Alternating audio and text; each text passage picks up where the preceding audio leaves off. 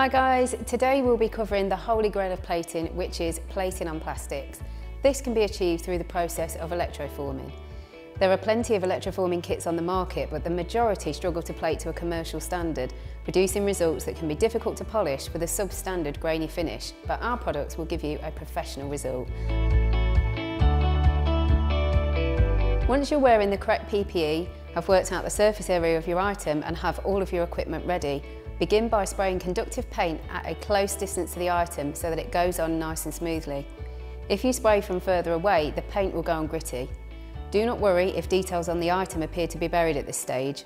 All details will return once the paint is dried, which takes around 60 minutes. Be sure to remember when you're electroforming articulated items to move the item joints uh, just after doing the painting so you can cover any bare spots. This might involve several drying stages. Use wire wool to strip the copper wire of any oxides.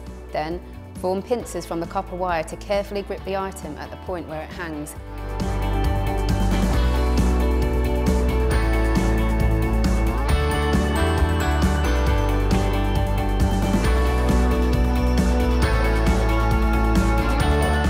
Next, use more copper wire and create an outline of the item, which we will call a robber wire, as this wire will rob excess current from small areas and corners that could otherwise burn. Your robber wire should be ideally positioned just a few millimetres away from the item.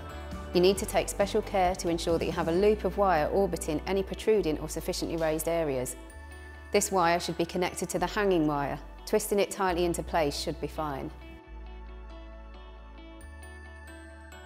Next, lower the rigged item into the electroforming tank at 0.035 amps per centimetre squared.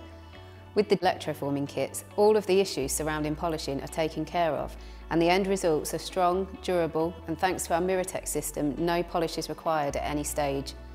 Your items will come out of the tank with chrome levels of shine and you will have a truly metal feel. For more information on the Mirror-Tech system, please see our website. You should then leave the item in the tank for a minimum of three hours, although six hours or more is common. Revisit the tank every 30 minutes to move the item slightly within the wire that is clamping it. This will help to break any minuscule bonds that may form and will prevent your wire from fusing to the item during the process. You can also use this time to move any articulated joints that your item might have to allow even coverage and to prevent the joints from fusing in place. Using deionised water and a spray bottle, thoroughly rinse off the entire item. If the item is hollow, be sure to rinse out any trapped solution. Do this as quickly as possible, preferably within 60 seconds, and then progress immediately to the next step. Leaving the item in its rigging, nickel plate for five minutes.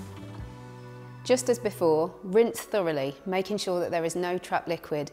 Do this within 60 seconds and move immediately to the next stage.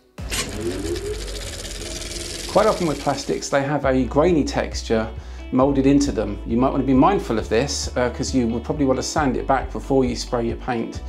Alternatively, you might want to leave it because it will give you a different texture and sometimes that might be what you're after. It's up to you.